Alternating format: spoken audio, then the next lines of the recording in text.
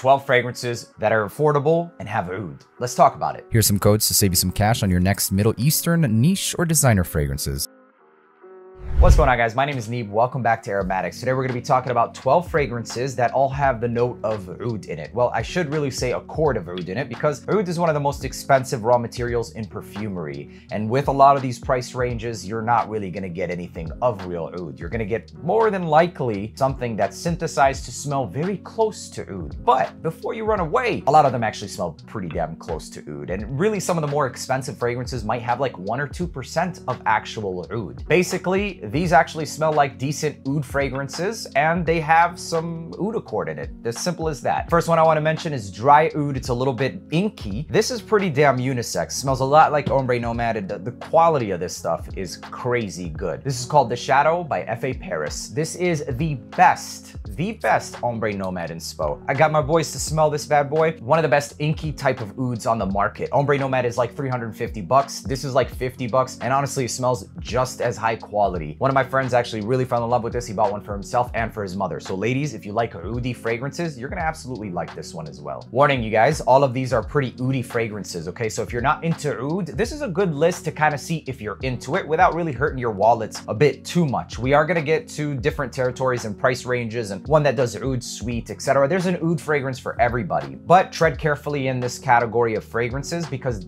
oud is typically not the most mass appealing or, you know, not really for everybody. For me, I personally love it. Like I said though, a great way to start or jump into oud fragrances and see if you enjoy it. So next fragrance on this list is a lot for what it is actually. It's I wasn't expecting as much as what it does. A pretty complex fragrance for a relatively affordable price. This is called Nabeel Maghateer. Maghateer has a lot of notes. I mean, if I were to list this on the screen, the notes, it would like, we would be here for a day or two. But essentially it's got like rose, fruits, there's a lot here, okay? It's an oud-based fragrance with rose and it smells extremely high end. It's much more than just an oud fragrance, but the heart of it is definitely a oud. Excellent fragrance. This is a lot going on in this one. It's called Maghateer. Next on this list is Earthy Praline and Oud, and Saffron as well. It's Hartnell. Hartnell is PDM Haltane. This is actually a pretty high-end smelling fragrance as well, and Haltane is really expensive. It's definitely worth the price tag, and the quality of oud that you're gonna get in this versus that is a step down.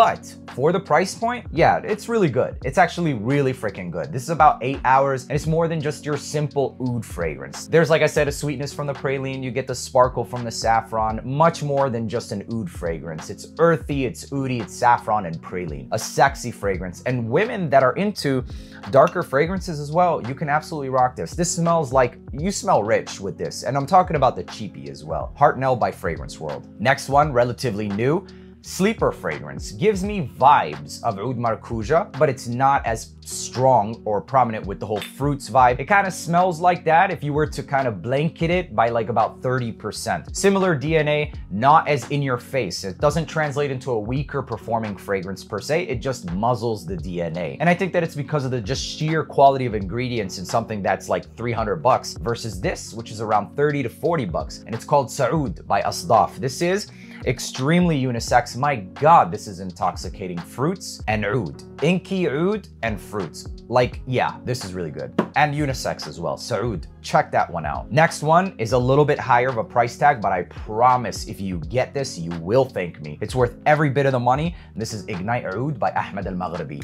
My addiction. It smells like cotton candy, fruits, and inky oud. Wow like 12 out of 7, man. Like 10 out of freaking 10 is not enough, seriously. this is an excellent one. Ignite Oud, lasts all day. Women, you could also rock the hell out of this one. Speaking of women, one of the best women-based fragrances that are affordable, this is it right here. Club de Nuit Imperiale, Delina Exclusive. Wow, wow, vanilla cream rose and oud. Wow, seriously.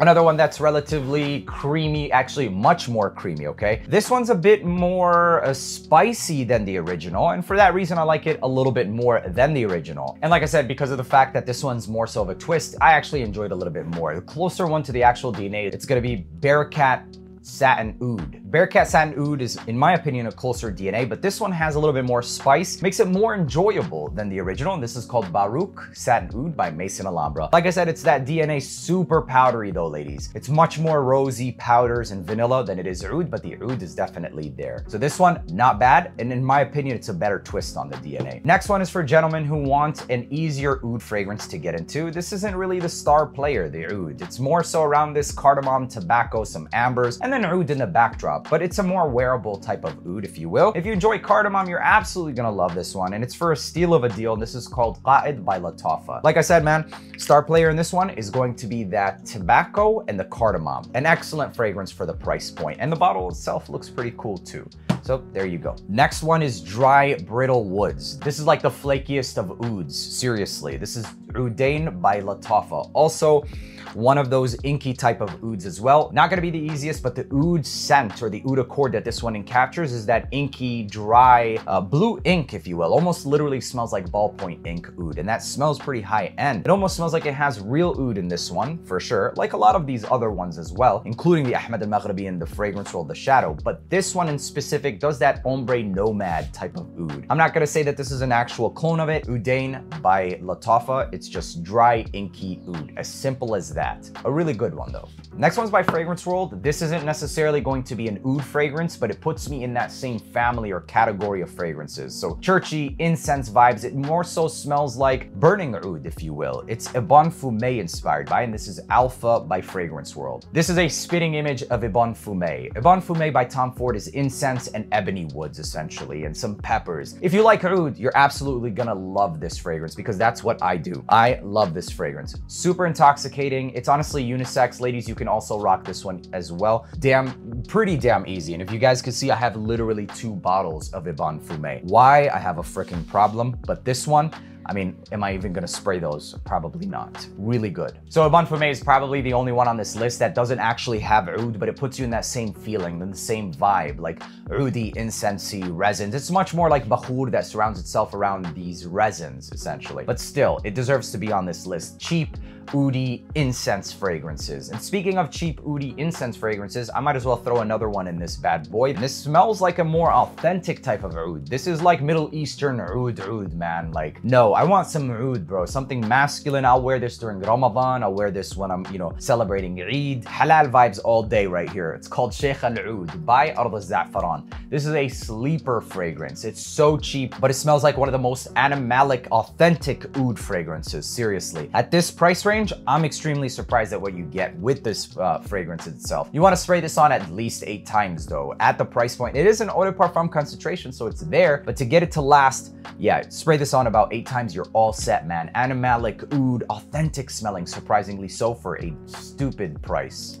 This one for now is going to be relatively similar case or similar scenario. It's oud, it's saffron, and it's vanilla, and it's called Mauzoon by Ahmed al-Maghribi. This smells a lot like vanilla drowning, oud drowning in vanilla essentially with some saffron. Pretty unisex in my opinion, so as simple as that. Lasts all day, vanilla and oud. An excellent fragrance, seriously. My, my palate is kind of craving a little bit more nowadays, but I was absolutely in love with this one. And as an intermediate or even beginner, you're going to as well. Yeah, this is a no-brainer, even for the more experienced. Seriously, seriously good. This one I fell absolutely in love with because of the fact that it does a super expensive fragrance, relatively similar to what this one does, but even more of an expensive fragrance. And it's not really the center player, the Laotian Oud in here. It's got some apple, it's got some vanillic vibes, very intoxicating, sexy, and seductive, and aphrodisiac in here. Honestly, all of these fragrances for me personally have always served as aphrodisiacs. It's always gotten the job done for me different notes, different vibes. It's different for everybody, okay? But if you're into oud or if you're in the Middle East, then these are more likely to be the same case scenario with you as well. But it doesn't mean that if you're in the West, it's not gonna work for you either. Try it, you never know. A lot of these will definitely serve as aphrodisiacs. This one though, I definitely think it will as well. It's called Anaqeed by Fragrance World. This is Layton exclusive. This bottle right here that's around like 450 bucks, 425 retail, it's now in this $50 bottle, okay? It's got this Laotian Oud. It's basically like super creamy wood, drowning in vanilla with some apple, some geranium, much more than just that, man. The Laotian Oud in this kind of has like characteristics or qualities that reminds me of sandalwood, creamy woods, so freaking sexy. And for the price, yeah, amazing. Last one, this is a bonus fragrance. This smells smells like Tom Ford's Oud Wood, my favorite of the, them all, really. It's a Western take on oud and probably one of the safer options when trying to get into oud fragrances. It's got dried fruits, it's sweet, it's got a muzzle, really, around any animalic facets for oud. It's kind of this oud melaki type of oud, and it's called Wood Noir by Rayhaan. Simple as that, my favorite interpretation, the best interpretation on Tom Ford's Oud Wood. Lasts easily eight hours. You spray this sucker on about six to eight times and you're set. Wood, dried fruits, Simple as that. Really good stuff and very mass appealing and easy. It's one of the easiest wood fragrances for a lot of people in the West to jump into. There you go, ladies and gentlemen. Oud-based fragrances. There's some for women, there's some for men. Honestly, a lot of them are unisex. I'll tell you right now, Shadow and Oudain, unisex. This is relatively masculine. This is unisex Oud Satin Mood. Believe it or not, even Imperiale can be unisex for some gentlemen. Ignite Oud, extremely unisex. Saud is unisex as well. Hartnell can be unisex for the ladies who like darker fragrances. This one is pretty masculine, Sheikh Al Oud. Apex, extremely unisex. I mean, yeah, a lot of these are unisex as well. Hopefully that helps you in any way. And if it did, make sure to leave a like, hit that subscribe button. And until the next video, peace.